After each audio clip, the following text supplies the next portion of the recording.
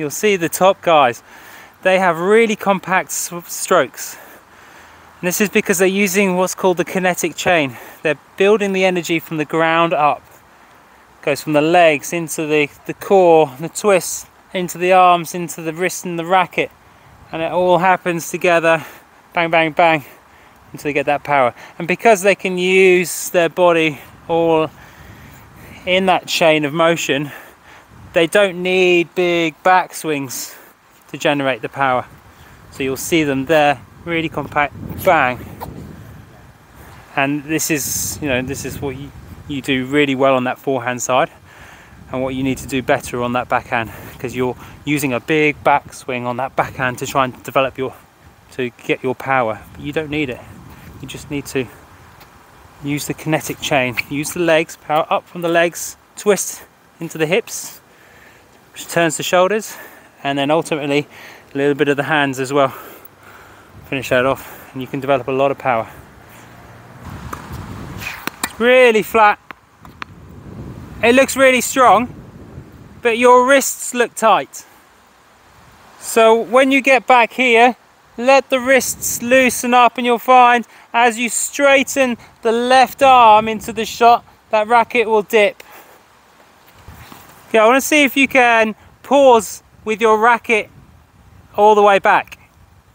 So instead of waiting here and then going back and forwards into your backhand, I want you to go straight back, pause, line the feet up and then go into your shot.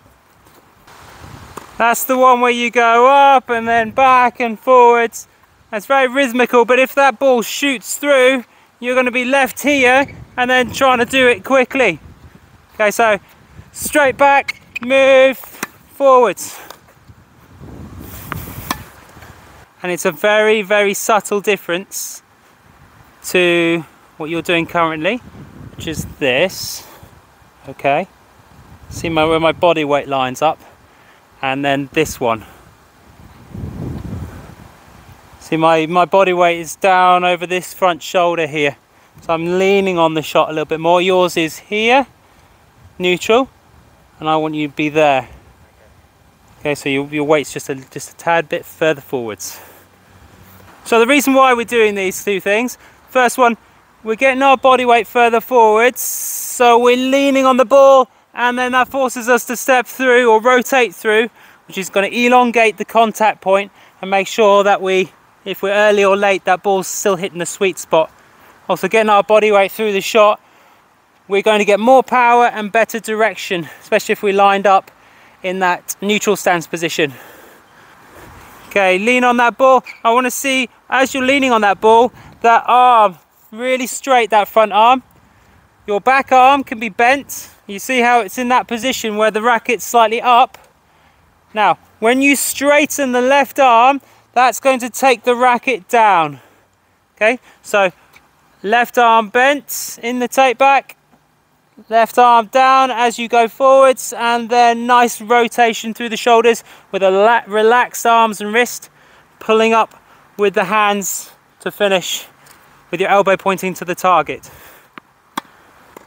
Yeah get that arm straightening out so you're dipping that racket down. Point it down. So that was straight down bang. We're going to take it we're going to change it just a little bit so you've got more shape on your shot because I want to see more spin we're going to take it back with the left arm uh, poised in this position and then drop it by straightening the left arm. But we need to be really conscious of how straight this right arm. This one needs to be completely straight. You're going to use this shoulder here on the right arm, a bit like a one-handed backhand, to pivot on that shoulder there. So if you have any bend in here, you know you you can be pivoting on the elbow you know or the wrist. So we need to keep it all straight. And then that left arm is kind of in there throwing it down and, and then putting the shape on on the racket as it goes through. So pushing it down straightening out and then lifting it up to generate the spin with the with the racket head coming up over the ball